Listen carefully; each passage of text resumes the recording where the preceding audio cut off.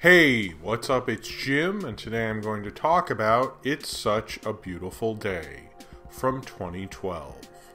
Don Hertzfeldt is uh, someone whose shorts I've enjoyed for a long time, and they have sort of a very surreal, very kind of real, crude, and strange kind of shorts. And I've liked, like, Rejected especially, but this film is kind of on a whole other level for me with him where it's a lot about life and your own mortality and the ultimate existential crisis of what any of it means.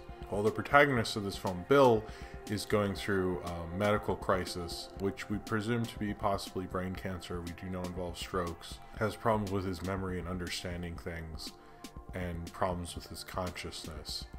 And it kind of opens you up as an audience member to kind of think about your own life and the finite thing about it and everything maybe that you have wanted to accomplish or anything like that. And it's a weird, strange movie that probably hits harder and scarier than probably I can think of very many films can do.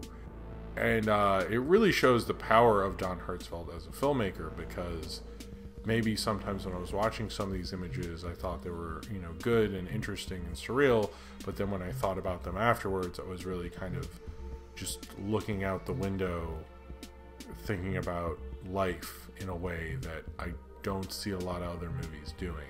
And this is kind of an intense experience, and I don't know if I'm fully over it while shooting this review. It takes you aback because you think of the scariness of everything and how things change and life's finite possibilities, and how I think it's such a beautiful day both makes you acknowledge how amazing life is and how amazing it is to be alive and to be able to experience these things while also realizing the banality of life the boringness of life, the ambiguity, the ambivalence of life, the apathy of life. And it kind of sort of gives you a full picture, but you're sort of just stuck within this guy's consciousness as this narrator describes things and how, you know, Bill, our protagonist, isn't a perfect person, not coming from a great family and having a sad life, but also, you know, having a life and how glorious that sort of is. It's strange and weird, but it's almost like it's strange and weird because,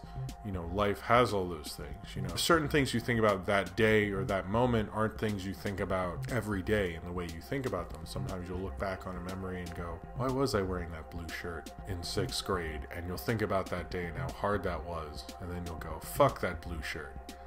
And this film was just an insane experience and kind of the kind of dense, kind of weird filmmaking that you want from an art movie. This might be one of the greatest art films of the 20th century and definitely the decade because there's a lot in there, and I think there's a lot of meaning uh, and there's a lot of symbolism, but it's also very literal.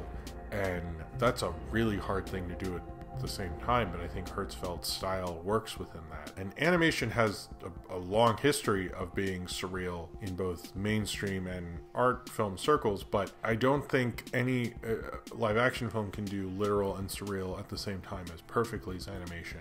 And I think Hertzfeldt does it in a way that very few animators have ever been able to do that. I don't know if this is based on something from his real life. I really couldn't find if that were true. I wouldn't be surprised, but it almost speaks so universally in a way.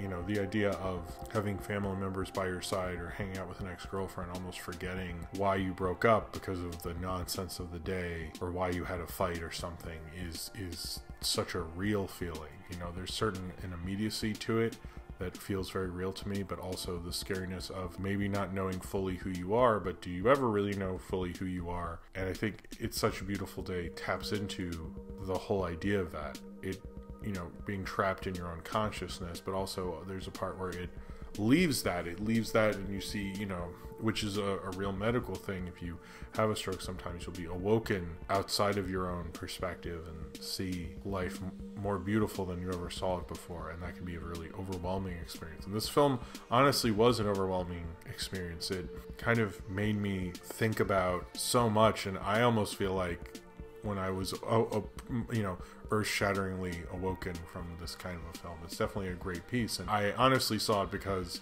I've been told to see it before, and I, I don't know why I didn't, but I didn't, and, and and I kept hearing it's this great movie, and I definitely walked away going like, oh shit, I definitely think it is one of the great animated movies. Um, this was originally three different shorts, which this is cut up into three chapters. I don't know if he like cut things out to fit into a feature hour long film. This film's about an hour, so it's not even that long. Although it feels so dense and life into it, it almost and also the existentialism it pushed me into. I think just as long as the movie, but it, the first installment is everything will be okay.